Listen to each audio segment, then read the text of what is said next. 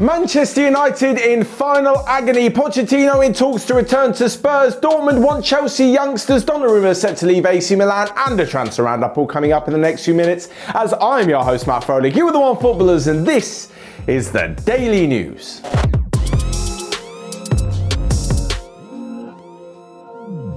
First off, not exactly the greatest end to the season for Ole Gunnar Solskjaer and Manchester United. After deeming the recent season not a success because they have not failed to pick up a trophy, it leaves you wondering what's going to happen this summer at Manchester United because quite a few things definitely need to be done about their squad.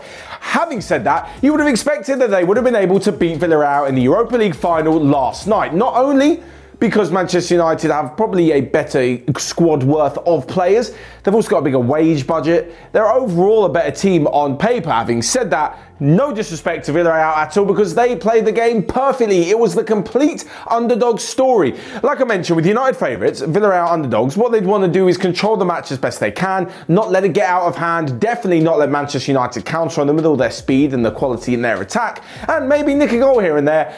And it's exactly what Villarreal did. They managed to take the lead, and then once United equalised, didn't let it slip out of their hands. And in fact, it wasn't exactly the greatest game overall. It went down to the luck of the draw at penalties, which was honestly, I was sitting there watching it. It was insane. It was one of the craziest penalty shootouts I've seen. Not only because it went to the goalkeepers, not only because 21 penalties were scored in a row before David De Gea missed, but also the quality of the penalties was amazing. Some ridiculous calmness, some coolness, some composure, considering you're in the final of a European competition. Anyway, hats off to Villarreal because honestly, I saw a lot of media before the game a lot of fans writing them off saying United are easily going to rule this one. I thought United were going to win purely because I was just analysing their run to the final and the quality they've got in their squad. But again, massive props to Unai Emery, who has now mastered a fourth Europa League trophy. He is the most successful manager in Europa League history now, which is pretty amazing. Just a shame for Arsenal fans he couldn't quite do it with them. Anyway, like I mentioned before, what it means to Ole Gunnar Solskjaer United in the summer, they definitely need a few changes, and certainly I think one of those may come at centre back. I wasn't completely convinced by the Bailly Lindelof partnership at the back, and it's clear that they miss Harry Maguire. You cannot, like we saw with Liverpool, have one defender get injured, and then all of a sudden your back four falls apart. And it's not quite good enough. As for the decision to play Pogba and McTominay, McTominay was brilliant, not overly sure about Pogba's role in the match. And Ole Gunnar Solskjaer overall just left it too late. Like I said before with Emery and Villarreal, they had a brilliant plan. He made the substitutes when it needed, he freshened things up when he could, and when it came down to the luck of the penalty shootout, they kept their cool. Big shout out to Geronimo Rulli as well in the Villarreal goal. But moving on to that and some other massive news news from yesterday, and it looks like the managerial roundabout is in full swing. So earlier on in the day, we had Antonio Conte leaving Inter Milan, agreeing to a 7 million euro payoff, and after just two seasons with the club, he is gone because they're willing to sell loads of talent to raise some money this summer. As for Antonio Conte's next move, we're not quite sure where he's going to go. There were rumours of Tottenham putting a ridiculous amount of money on the table for him, but I'm not quite sure that one's true. Later on in the evening, literally after the Europa League final had finished, Zinedine Zidane announced that he would be leaving Real Madrid. And now this leaves a rather interesting opportunity because both Juventus, who by the way, are still with Andrea Pirlo, haven't made a final decision yet.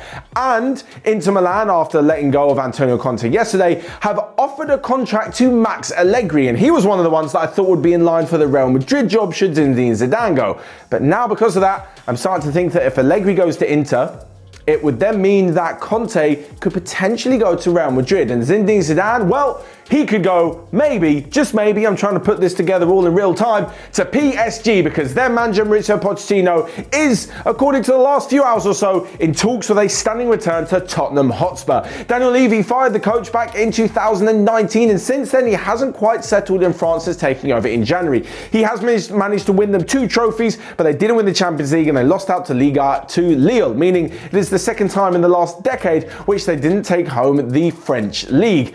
Because of all of this and because of Mauricio Pochettino's affiliation with Spurs and his love for the club, he is willing to move back, but there's going to be some serious talks to be had. Of course, at the moment, this is just rumours, but it looks like from some rather reputable sources, including The Athletic, that talks between the two are definitely underway and that quite a few Spurs players are rather excited at the thought of their former boss coming back to the club. And speaking of Antonio Conte, I did a video which you can find here a few weeks back talking about how he completely destroyed Juventus dominance this season and took Inter Milan to the Serie A title. Next up though, and to some transfer news, and there is rumoured to be more talks between Callum Hudson-Odoi and moving to Germany, but this time, unlike a few years ago, it's not to Bayern Munich, it's to Borussia Dortmund. Of course, Dortmund have a fantastic track record of developing young potential English talent, and Callum Hudson-Odoi alongside Tammy Abraham, who's also part of the discussions, haven't exactly found game time easy to come by at Chelsea in the last few months. Since Thomas Tuchel took over, it's literally been the end of Tammy Abraham's career at Chelsea, and Callum Hudson-Odoi's never really managed to work his way fully into the first team.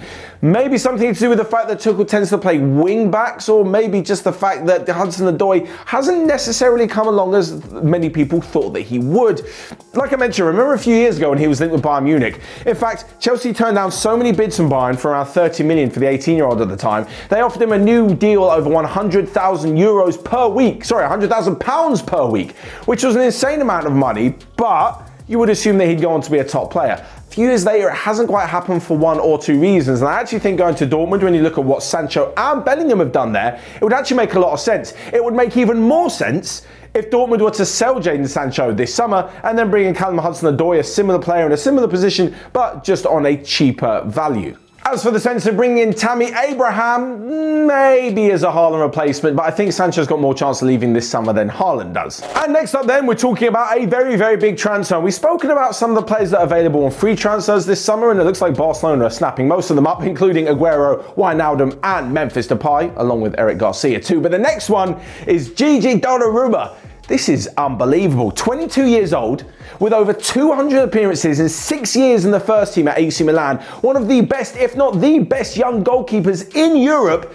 And he's available on a free transfer. Paolo Maldini, speaking yesterday, said that the club would be sad to see him go and their paths go off in different directions, but they have to accept it at some stage and they can't plan out everyone's career for them. Gigi Donnarumma is of course represented by Mino Raiola, which means that now clubs have to deal with a ridiculous transfer fee, but they're still going to have to deal with a lot of agent fees and a crazy new contract for Donnarumma. As to where he's going to go, most top teams in Europe who would be looking to bring in Donnarumma actually already have a pretty good goalkeeper. I'll try and go through them of them now. Ederson at City, he's not going there. Alisson at Liverpool, no, he's not going to overtake him. Mendy at Chelsea, I doubt it, although that that that kind of is a Chelsea thing to do to bring in Donnarumma. Um, Courtois has been brilliant for Real Madrid.